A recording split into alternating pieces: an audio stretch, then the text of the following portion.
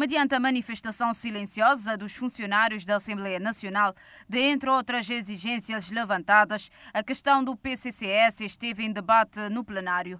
A OCID e o maior partido da oposição são de acordo que seja aprovado o processo de plano de cargos, carreira e salários e sugeriram que o mesmo seja agendado em janeiro para sua aprovação.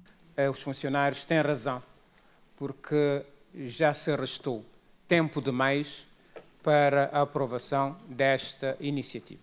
Uh, seria o espaço de assumirmos um novo compromisso, de em janeiro aprovarmos definitivamente este instrumento, que é um instrumento importante para a vida também dos funcionários. Que tomássemos uh, uh, aqui uma decisão, dizer para quando é que nós poderemos eh, discutir o PCCS para dar resposta eh, aos trabalhadores da, da, instituição e também dizer, eh, mesmo que seja em março, abril ou maio ou junho, e se for o caso disso, dizer-lhes que nessa, nesse caso havia retroatividade a partir de uma certa data. Segundo o líder do partido no poder, desde o orçamento de 2018 e para 2019, está contemplada a verba para o PCCS e diz que só não avançou porque precisou rever a orgânica da Assembleia Nacional. Conseguinte, em relação ao PCCS,